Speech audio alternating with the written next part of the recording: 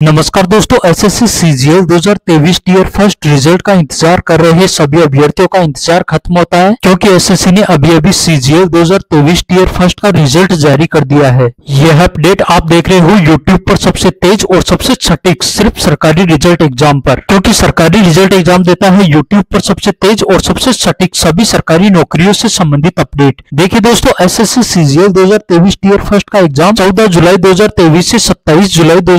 के बीच में हुआ था। इसके रिज़ल्ट के लिए चार पीडीएफ अपलोड की गई है, जिसमें लिस्ट फ़र्स्ट टू थ्री और फोर है। यहाँ पर रिज़ल्ट के साथ में कट ऑफ़ भी दी गई है, जहाँ पर लिस्ट फ़र्स्ट में उपरोक्त पोस्ट के लिए दे रखा है, और इसकी कट ऑफ़ है एस सी एक सौ चौवन एस टी एक सौ अड़तालीस ओबीसी एक सौ छियासठ ईडब्ल्यू एस एक सौ सड़सठ जनरल एक सौ उनहत्तर, और अदर्स के लिए एक सौ सैतालीस। ठीक ऐसे लिस्ट सेकेंड में उपरोक्त पोस्ट के लिए कट ऑफ़ दे रखी है एस सी एक सौ अड़तालीस एस टी एक सौ छियालीस ओबीसी एक सौ पैंसठ ईडब्ल्यू एस एक सौ छियासठ जनरल एक सौ अड़सठ अदर एक सौ बत्तीस एच एच अस्सी वी एच एक सौ चौदह लिस्ट में यहाँ पर उपरोक्त पोस्ट के लिए दे रखी है यहाँ पर कट ऑफ़ एस टी एक सौ सत्ताईस ओबीसी एक सौ बावन ईडब्ल्यू एस एक सौ अट्ठावन जनरल एक सौ बहत्तर और बाकी पोस्ट के लिए आप यहाँ पर देख सकते हो लिस्ट फोर में यहाँ पर ऑल अदर पोस्ट के लिए कट ऑफ़ दे रखी है एस सी एक सौ छब्बीस एस टी एक सौ अठारह ओबीसी एक सौ पैंतालीस ईडब्ल्यू एस एक सौ